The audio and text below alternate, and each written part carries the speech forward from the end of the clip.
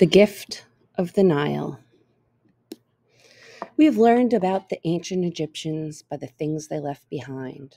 The most favorite reminders of ancient Egypt are the pyramids built during Egypt's Old Kingdom. Three pyramids were built at Giza on a plateau on the west bank of the Nile River. Egypt was described by an ancient historian as the gift of the Nile. Egypt got this nickname because the Nile's fertile banks were home to the first Egyptian farmers. Ancient Egypt's history is divided into three time periods the Old Kingdom, the Middle Kingdom, and the New Kingdom.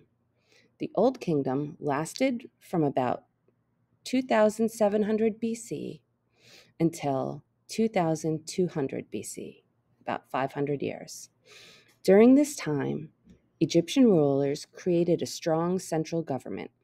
They brought all the s- small farming villages around the Nile under their absolute control. Egyptian leaders were called pharaohs, and they had total power over the kingdom of Egypt.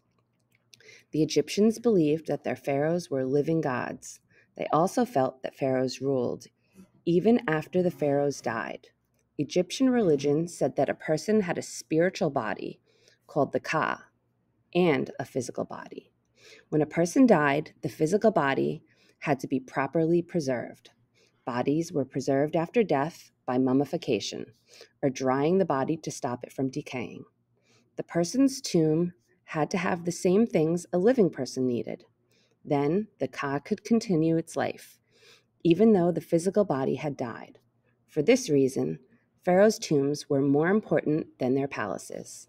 Tombs were filled with supplies for the dead, like chairs, weapons, food, and even pets. Historians and archaeologists did not know for sure how the pyramids were built. Egyptian workers moved millions of limestone blocks to build the pyramids. Somehow, the enormous stones for a pyramid were cut, moved to the site, and put together. The stones were very heavy, and the pyramids were built before the pulley or vehicles with wheel- wheels were invented. The largest of the three pyramids was being built by King Khufu around 2540 BC. Khufu's tomb, the Great Pyramid, covered 13 acres and stood 481 feet tall. The ancient Greek historian Herodotus reported that 100,000 Egyptians spent 20 years building the Great Pyramid. A pyramid was not only the pharaoh's tomb, it was also an important symbol of power during the pharaoh's life. The pyramid could be seen for miles and reminded everyone how rich and powerful the pharaoh was.